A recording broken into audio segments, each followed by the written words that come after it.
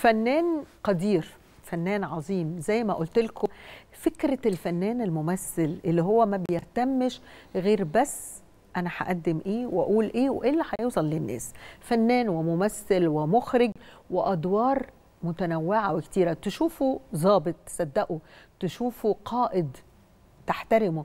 تشوفوا رجل بسيط تفهمه وتقدره. الفنان القدير محمد أبو داوود في حوار إنساني لطيف ربنا يقدرنا عليه. أهلا بيك. منورني. ربنا يخليك. سعيدة بوجودك معانا. ربنا يخليك. أنا اللي سعيد جدا جدا و... وإن كان أنا. بعتبره خاصة معاكي انت بالذات يعني إنه لقاء متأخر كتير ده بس ده أنا- أنا اللي اتأخرت عليك أكيد. لا والله أول ما قالوا لي أنا ما يعني قلت لهم حاضر على طول فورا يعني. أكيد أنت منورنا و و وأنا نفسي إنه حوارنا يكون فيه آه، نوع من أنواع أنا عايزة أدخل في الملفات اللي أنت عشت فيها. يعني لما بنشوفك على الشاشة يعني إحنا بنصدقك في كل دور آه، صوتك أدائك المسرحي مخرج الأدوات اللي بتملكها. هل هي اللي ساعدت في إنك تتنوع في كم أنا وأنا ببص على كم الأعمال مرعبة؟ يعني يمكن ناس كتير مش متخيلة كم الأدوار والتنوع اللي أنت قدمته. إيه اللي ساعدك أكتر؟ الدراسة الموهبة آه، عملك كمخرج؟ إيه اللي ساعدك أكتر في البداية؟ هو الحقيقة رغم إن أنا كررت الكلام ده كتير إنما آه، بسؤال حضرتك مضطر أقول يعني اولا أنا بشكر حضرتك على جملة آه، إن بنصدقك. لأن دي أهم حاجة ممكن تبقى في الفنان اللي من خلالها يوصل للناس. صحيح. هو اللي حصل إن أنا ماليش دعوة بحاجة. أنا من صغري من وأنا عندي تسع سنين تسع سنين ونص لما آه، اشتغلت في فرقة والدي الله يرحمه حسن أبو داوود آه، وكانت فرقة هواه ومثلت وأنا صغير معاه وتدرجت في كل حاجة واشتغلت كل حاجة. الأساس أنا دايما بقوله الموهبة والموهبة دي بتاعت ربنا. ومحدش آه، آه، آه، بيعرف هو عنده موهبة ولا ما عندوش إنما حد بيبقى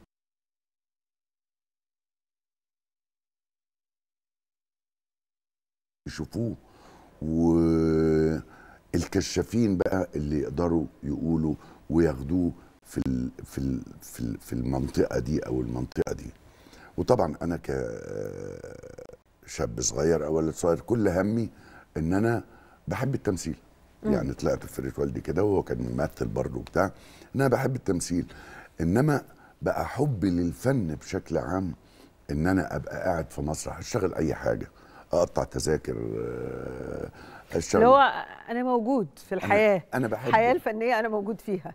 وأنا عايز أخش المعهد لما اشتغلت بقى سواء قطاع عام قطاع خاص كل الشغلانات آه، مراكز شباب وكنت عضو مركز شباب الجزيرة وأحمد عبد الوارث دكتور محمد عزب عائشه الكيلاني آه، كتير أسماء. كتير.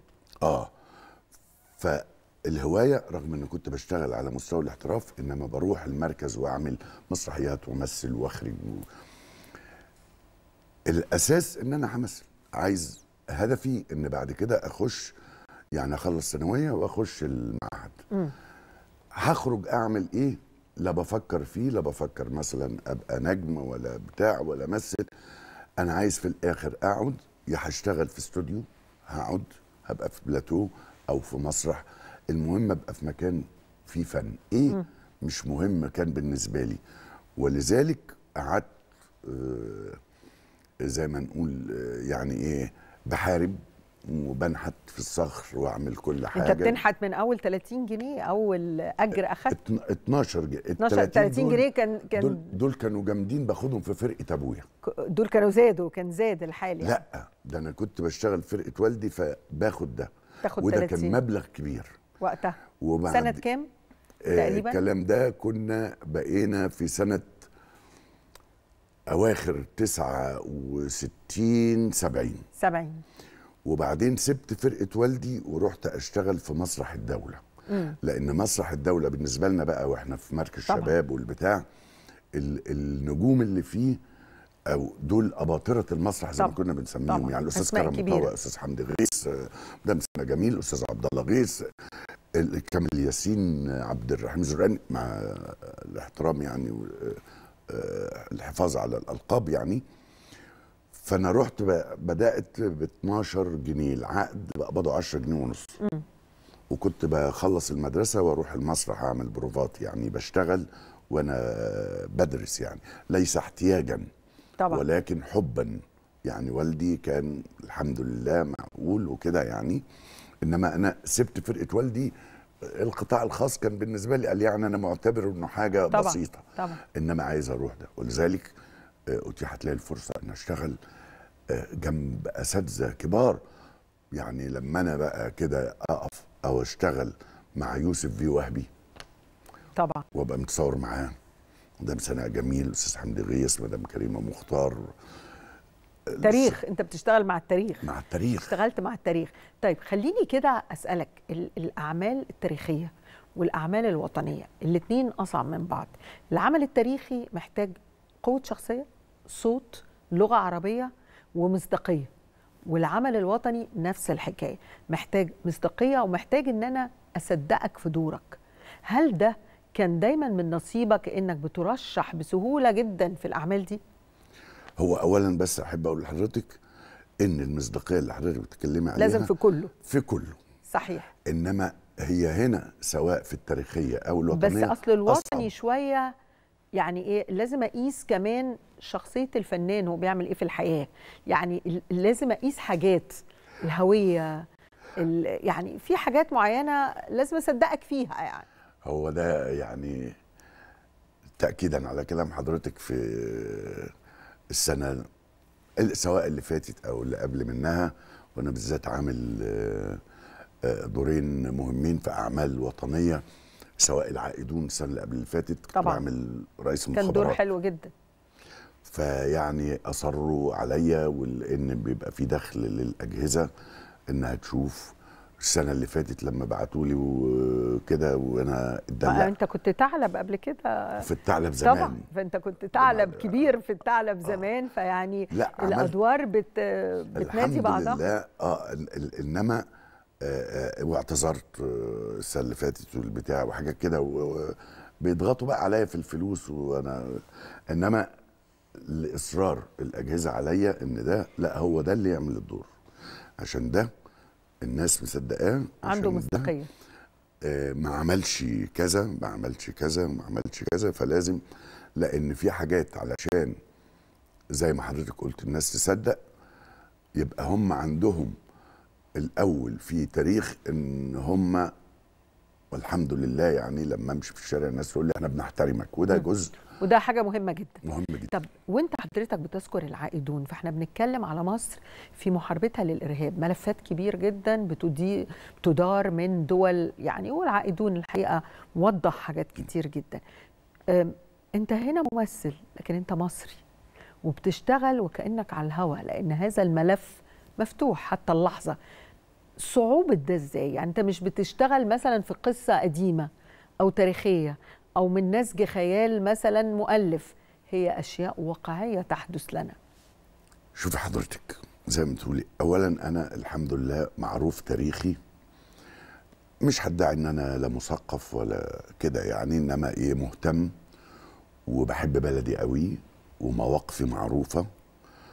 ويمكن الحمد لله إن ما حدث في 25 يناير ان أنا كان ليا نظرة آه، سابقة وشايف الصورة من خلال قراءاتي وخاصة بعد ما كنت عملت مسلسل الجماعة الأستاذ طبعاً، وحيد طبعاً. حامد وقريت مبكراً. كتير عن تاريخ الجماعة ال- يعني فلما بيجيني دور أنا العائدون ده كان بالنسبة لي صعب جدا طبعا ليه؟ لأن رئيس المخابرات موجود صحيح آه أنا فيا شبه شوية أو كده وبتاع. إنما اما قريت الكلام كان بالنسبة لي صعب جدا. صعب في إيه؟ مش تمثيل أصله حقيقة. وده اللي أنا بقوله. ده حقيقة. واحد حضرتك. اتنين لقيت الكلام مهم جدا جدا جدا. مش مسألة بقى هنا لو جيت أنا أقوله كده وجي حد يقوله المشاهد بعد شوية ممكن يهرب مني. ليه؟ لأن في كلام بقول كلام كتير. واللي كان بيحصل واللي حصل واللي بيحصل في الأيام دي لأن المخابرات كانت متابعاه كويس.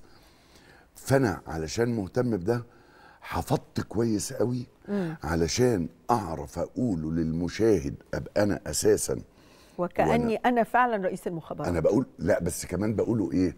عشان حضرتك تتشدي لي مش مجرد كلام بقوله إزاي بقى هفضل هقطع الجملة إزاي وأقولها إزاي عشان توصل؟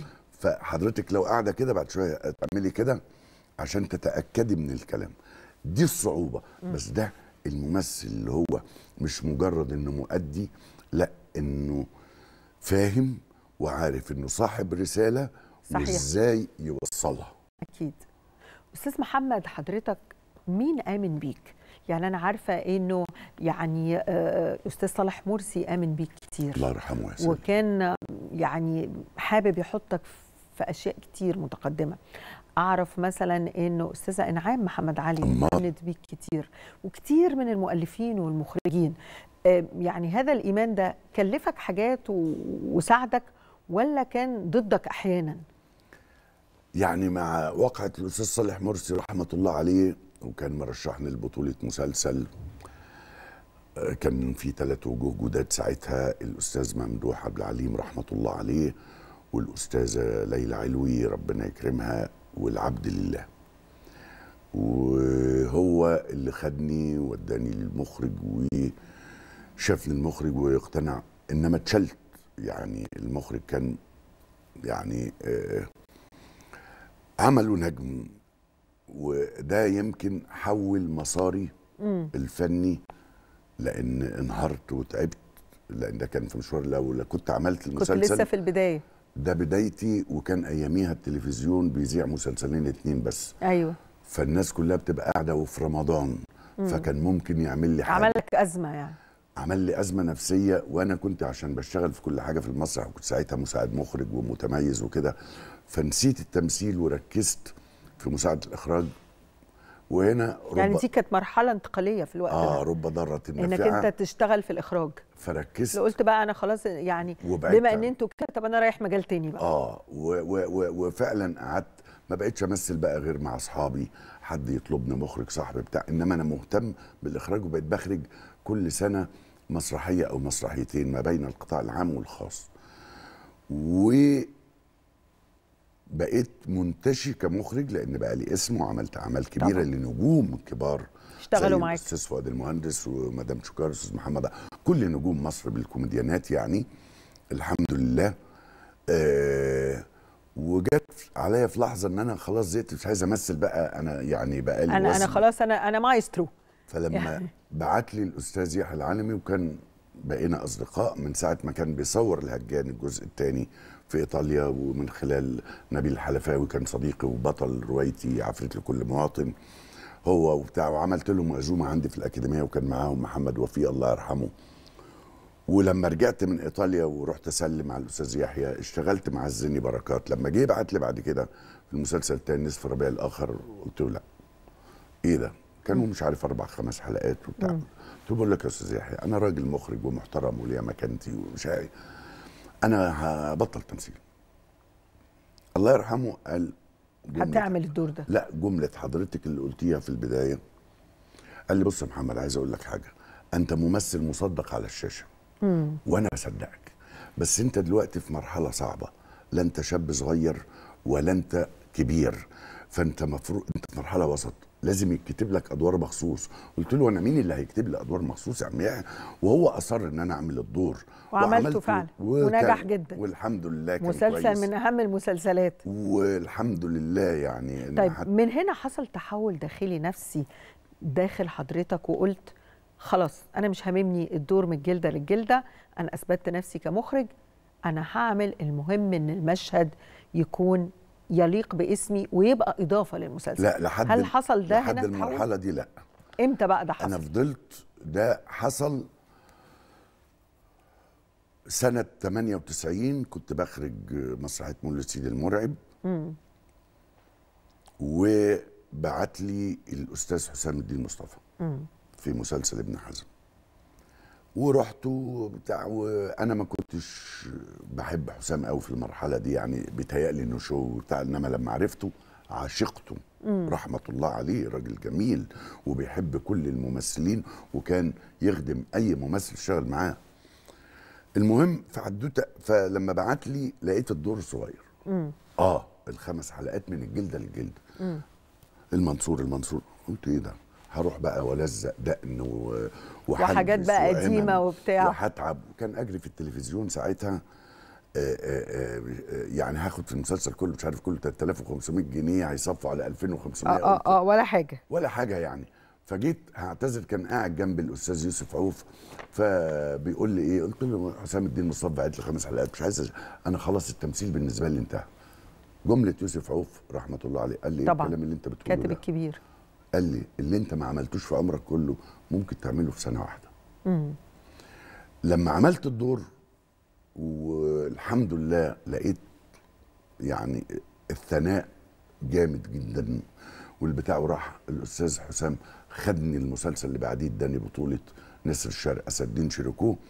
في نفس العام بعتت لي مدام إنعام محمد علي أم كلثوم. بعدين قاسم أمين بعدها. وبقى قاسم أمين. فبدأت إيه؟ ها؟ وبدأ أعمال تانية بقى آه، غير مع صبحي بعمل أعمال آه، سنبل. كنت عملت سنبل؟ لا كنت بدأت عملت أعمل سنبل. أدوار بقى آه، يعني فارس بلا جواد وال- واتعرضت الرواية ونجحت اللي هي مول السيد المرعب. عرضتها 98 99 2000 بعت لي الأستاذ عادل إمام أعمل بودي جارد. وعملته 10 سنين.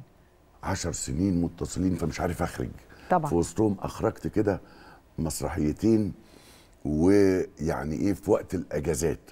فده بقيت بمثل هنا فبطلب كتير وحصل بقى اللي حصل بعد 25 هل ده عمل. لك رضا نفسي؟ يعني اللي أنت بتقوله لي عن المشوار إني أكون نجم الأول. التنوع اللي حصل لك ما بين إخراج ما بين أدوار مهمة عمل لك الرضا النفسي؟ الحمد لله. اولا حضرتك أنا طول عمري الرضا عندي ربنا منحني بس كنت. بتنتقد نفسك كتير أستاذ محمد. بنتقد ده أنا ما زلت. والانتقاد ضرك. أنا بزعل اولا بس إيه يعني ببقى قاسي على نفسي. ليه؟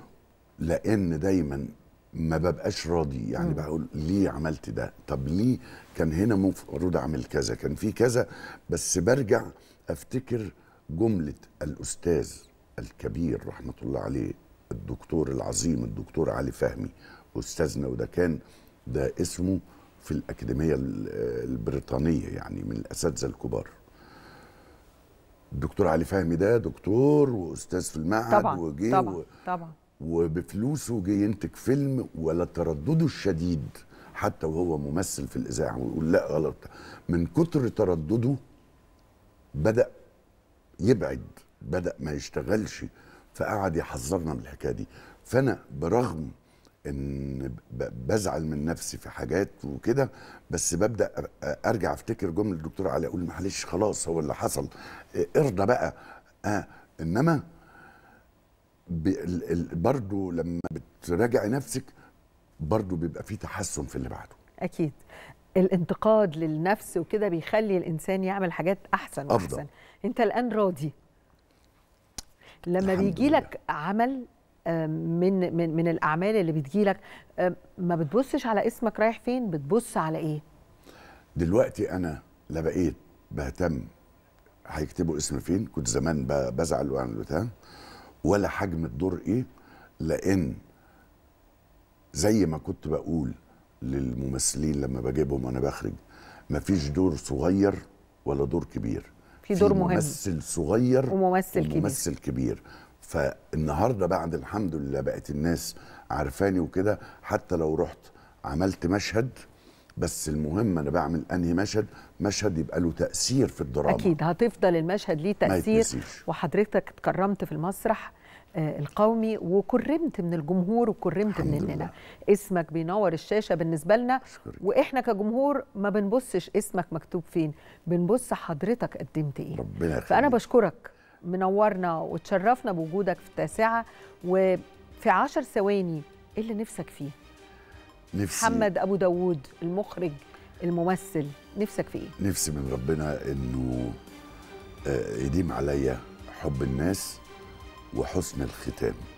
إن يعني لحد ما يجي لي الأجل إن شاء الله إن أبقى مستور وأبقى كويس ويحفظ لي بناتي وأشوف آه، ولادهم أكيد. ودايما يبقوا سعداء. أكيد هيفضل الستر والاحترام عنوان أكيد لكل اللي قدمته. يا رب. تكون ظابط تكون فلاح, فلاح، صعيدي صعيدي. دكتور. مجرد دور بتقدمه على الشاشة الصدق والمهنية أكيد هم أحلى حاجة بشكرك شكرا ومنور دايما الشاشة بشكرك وإلى الأمام أنا اللي بشكر حضرتك ودايما كده منورانا وأنا سعيد إن أنا معاكي وفي استوديو 10 اللي طبعاً، بيتك. فيه أهم الأعمال منها نسر الشرق هنا والأعمال التاريخية وده بيتي وأنا بحب ما بتأخرش لما بطلب في حاجة في التلفزيون المصري أكيد، لأن أكيد. ده فضله عليا كتير نورتنا وشرفتنا أشكرك. ودايما نجمك يكون على الشاشة ده كان دورنا النهارده إن إحنا ننقل لكم حالات حلوة من مهرجان العالمين للموسيقى لكل الحاجات الحلوة اللي اتكلمنا فيها وختاما بفنان كبير وقدير مصر دايما ولاده محمد أبو داوود هو الممثل القدير اللي بينور الشاشة هتفضل دايما التاسعة هي عنوان كل الفن الراقي أشكركم وبكرة التاسعة مكملة معاكم وأنا ألقاكم بإذن الله الخميس المقبل. تصبحوا على ألف خير.